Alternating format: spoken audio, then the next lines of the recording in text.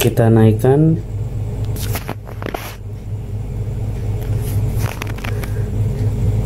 Posisi remote masih off. Kita coba ke MCB panel mesin itu MCB kita naikkan dan kita coba trip dia mau. Sekarang kita akan lihat digital yang di mainboard juga masih nol. Karena remote nya juga belum bisa hidupkan. Sekarang kita coba hidupkan.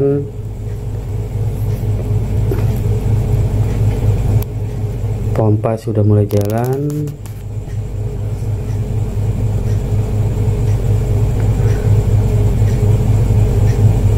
Oke teman-teman di sini saya akan menjelaskan beberapa fungsi dari komponen yang ada pada mainboard untuk pembelajaran kita semua. Yang di mana teman-teman bisa lihat di situ ada angka 42 berarti suhu air yang terbaca itu 42 derajat. Dan di sini teman-teman bisa lihat ini adalah CT yang mana CT tersebut adalah current transformer atau current sensor. Di sini ada kabel yang masuk melewati lubang CT berfungsi sebagai sinyal atau proteksi.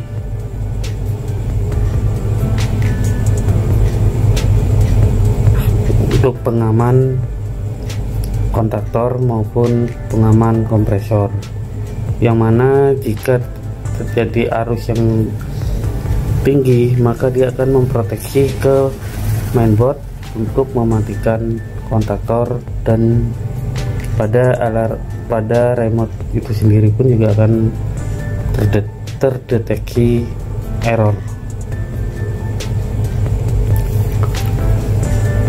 Sedangkan yang ini adalah beberapa relay ini ada 9 yang mana setiap relay ini fungsinya berbeda-beda. Untuk fan motor untuk 4 valve untuk water pump untuk float switch untuk solenoid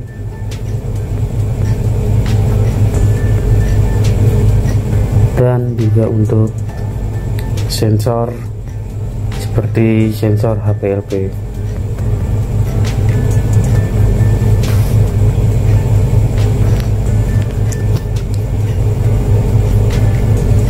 oke kita lanjut ke beberapa sensor termis. Yang di mana di sini terdiri dari 1 2 3 4 5 6 7 sekitar 7 ter 7 termis. Dan ini adalah water out sensor. Fungsinya adalah untuk membaca air outlet suhu temperatur air outlet. Sedangkan yang ini adalah water inlet. Yang mana berfungsi untuk membaca suhu temperatur air yang masuk pada unit pump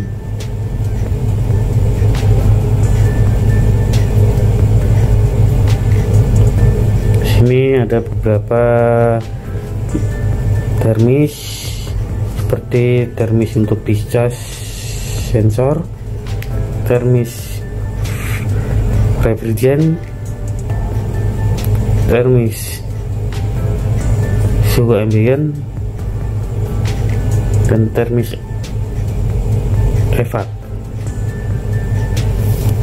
mungkin teman-teman sudah paham mengenai beberapa nama atau fungsi dari setiap termis tersebut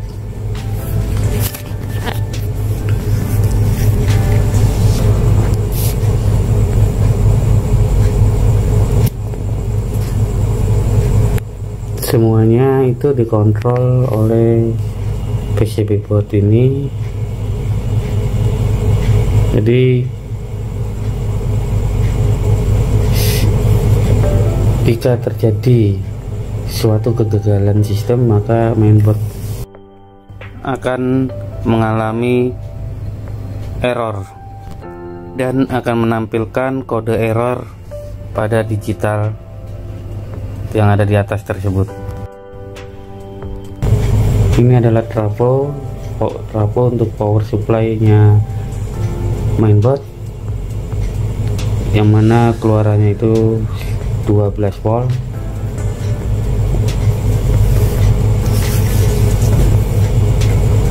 Ini adalah IC MyCom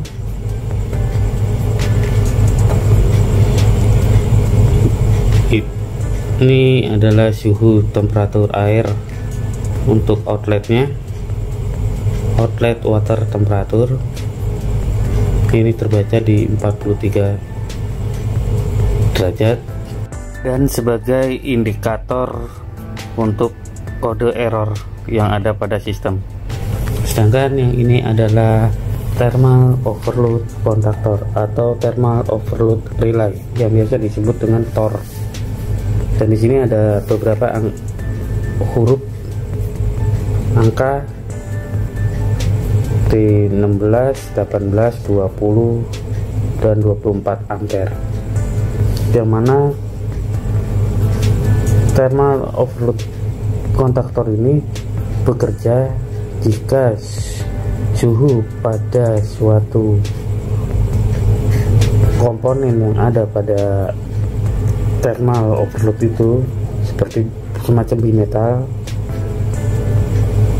jika dia melebihi kapasitas atau dia melebihi settingan. Yang kita setting dia akan memutus konduktor dan thermal overload relay atau thermal overload konduktor itu akan trip oke teman-teman ini kita akan coba hidupkan kompresornya. Nah kompresornya sudah mulai on. Ampere yang terbaca 14, sekian 14,6 17,92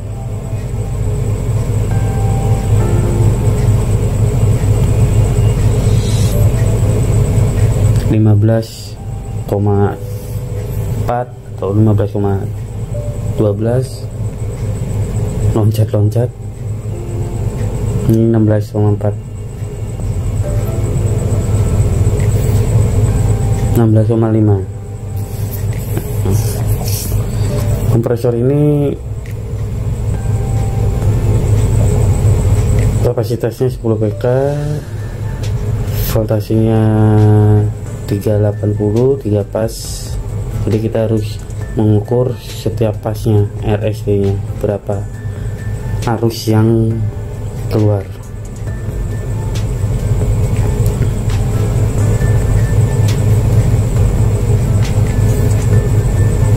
dan sekarang kita coba ukur voltasenya R ke S 389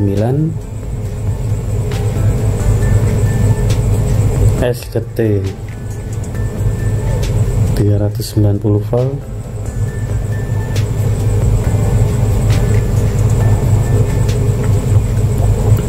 RKT 384